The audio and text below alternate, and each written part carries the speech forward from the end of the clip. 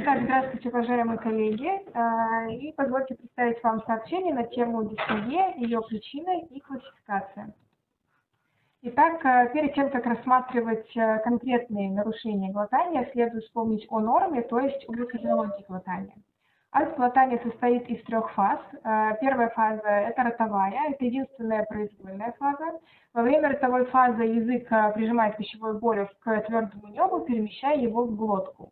Далее следует глоточная фаза. Пищевой болюс проходит через глотку. В это время полость носа и трахея закрыты, а верхний пищеводный сфинктер расслаблен. И третья фаза – это пищеводная. Пищевой комок проходит через верхний пищеводный сфинктер. Тот сокращается и э, проталкивает болюс вниз по пищеводу в направлении желудка. Итак, дисфагия – это затруднение прохождения жидкого и или твердого болюса во время одной из фаз глотания, то есть ротовой, глоточной или пищеводной фазы. А важно помнить, что дисфагия – это именно физическое нарушение прохождения пищевого болюса в желудок, а не только ее субъективные ощущения. Стоит помнить также о нескольких терминах, которые стоит дифференцировать между собой. Так, если дисфагия – это затруднение во время глотания, то одинофагия – это болезненные ощущения во время глотания, афагия – это полная невозможность проглотить пищу, и также есть э, такое состояние, как глобус истерикус, которое характеризуется постоянным, то есть независящим от глотания ощущением комка в горле при отсутствии нарушений акта глотания. По Столицкому выделяют четыре степени дисфагии – а, первая степень – это затруднение при прохождении твердой пищи. Вторая степень – затруднения при приеме кашицеобразной полужидкой пищи. Третья степень – затруднения при глотании жидкости. И четвертая – это полная непроходимость пищевода или афагия. И в зависимости от анатомической локализации нарушений глотания, дисфагию можно разделить на четыре типа. Это ротоглоточная, пищеводная, пищеводно-желудочная и паразофагиальная. И далее мы чуть подробнее остановимся на каждом из типов и рассмотрим возможные причины их возникновения.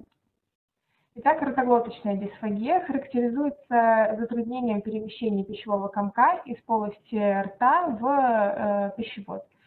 А, причины, которые вызывают ротоглоточную дисфагию, делятся на две большие группы. Первая – это двигательное расстройство, и вторая – физическая обструкция. В группу двигательных расстройств входят преимущественно неврологические заболевания состояния, такие как э, инсульт, э, болезнь Паркинсона, боковой амиотрофический склероз, рассеянный склероз, миостения, мышечная дистрофия, периферическая невропатия, образование ЦНС, а также врожденные нарушения центральной нервной системы физической обструкции относятся образование ротоглотки, опухоли головы и шеи, дивертикулоцентрия и также некоторые врожденные аномалии, э, например, перепончатая шея. А, пищеводная дисфагия характеризуется затруднением прохождения твердой или жидкой пищи через э, пищевод. И в группе двигательных э, расстройств основную долю занимает нарушение моторики пищевода, которые представлены в Чикагской классификации – это ахолазия, дистальный эзофагоспазм, гиперконтрактильный пищевод, э, полное отсутствие сократимости, неэффективная моторика и фрагментированная перистальтика. Также помимо нарушения моторики к двигательным расстройствам относятся склеродермия и некоторые другие ревматоидные заболевания, а также сахарный диабет как э, причина полинейропатии. Э, к причинам, приводящим к физической обструкции, относят новообразование пищевода, пептическую структуру, кольцо Шацкого и рубцовая структура. И также в отдельную группу выделена зенофильный эзофагит э, вследствие того, что в данном случае причиной дисфагии является воспалительные изменения э, в слизистой пищевода, а не двигательное расстройство или физическая функция. И на данном слайде представлено несколько изображений как причины э, пищеводной дисфагии – а, первое изображение – это рубцовая структура пищевода, далее это злокачественное образование пищевода, стенозирующее его, далее это характерная картина эзинофильного эзофагита с э, отеком слизистой пищевода и продольными бороздами, и кольцо Шацкого, которое э, в данном случае приведено для примера, так как у конкретного пациента оно не вызывало дисфагию.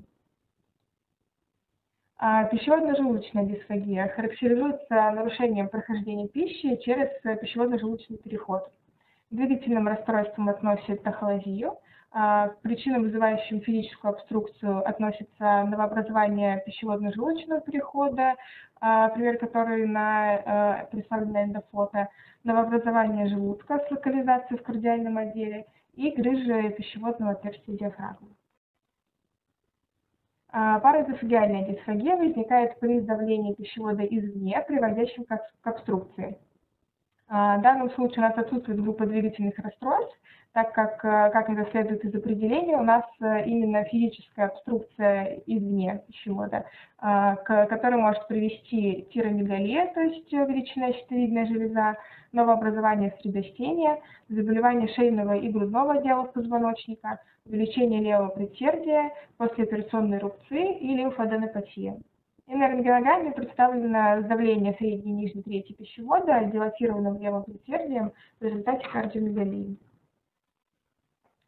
А, по клинической картине а, также можно а, понять тип дисфагии и ее характер. Так, такие симптомы, как затруднение в начале глотания, кашель или удушье при глотании и ночная аспирация соответствуют для ротоглоточной дисфагии. Для физической обструкции характерна дисфагия больше твердой пищи, нежели чем от жидкой. А, для двигательного расстройства дисфагия от жидкой пищи а, такая же, как от твердой, или в некоторых случаях э, выражена сильнее. Также э, при двигательных расстройствах возможна эпизодическая дисфагия. И пример эпизодической дисфагии – это стейкхаус синдром, э, который возникает при кольцо Шафского при проглатывании плохо пережеванных больших кусков мяса. И также, если мы наблюдаем э, совокупность дисфагии и изжоги, то э, возможная причина – это рефлюксоэзофагит или пептическая структура. А, при диагностике дисфагии у нас имеется исследование первой линии, это эзофагогастрододеноскопия и геноконтрастное исследование пищевода. Оба этих исследования э, взаимодополняемы, не являются конкурирующими. А, так, рентгеноконтрастное исследование пищевода дает нам а, большее количество информации о нарушении глотания и моторики пищевода, чем гастроскопия. Соответственно, на более предпочтительном качестве первого этапа диагностики пациентов э, с предположительно ротоглоточной дисфагией, которые чаще как раз-таки связаны с нарушением моторики, а также при подозрении на дистальное нарушение моторики пищевода. И, кроме того, рентгеноконтрастные исследования более информативны для диагностики непроходимых для эндоскопа структур пищевода, когда нам не удается полностью ее визуализировать. А, что касается эзофагогастрододеноскопии, то она позволяет детально визуализировать верхние отделы желудочно-кишечного тракта с возможностью выполнения биопсии при подозрении на воспалительный процесс, эзинофильный эзофагит или опухоль. И таким образом она является золотым стандартом для оценки именно морфологических причин дисфагии.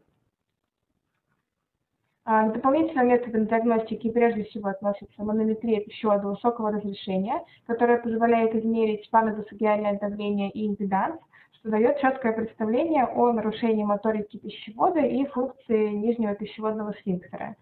И, соответственно, помогает нам в диагностике двигательных нарушений как причин дисфагии. К, также к дополнительным методам диагностики относится хронометрированный тест с проглатыванием воды. А, при этом пациент выпивает 150 мл воды а, максимально быстро, и в это время регистрируется время и количество глотков.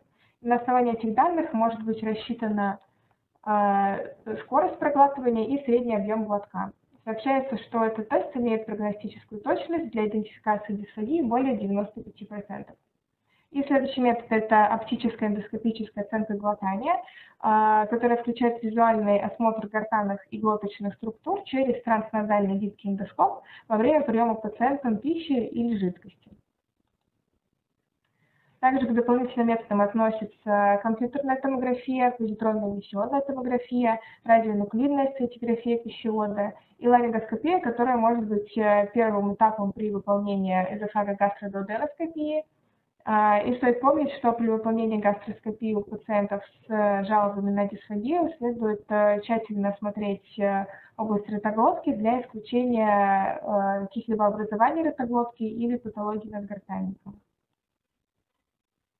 И, подводя итоги, позвольте еще раз обратить ваше внимание на большой перечень заболеваний, которые могут стать причинами дисфагии, особенно на э, те, которые выделены цветом, так как э, именно эти заболевания э, требуют э, более активных вмешательств, таких как э, постановка пищеводного стенда или гастростомы, что является э, объектом нашей сегодняшней дискуссии. И для продолжения дискуссии я снова передаю слово Евгению Геннадьевичу. Спасибо за внимание.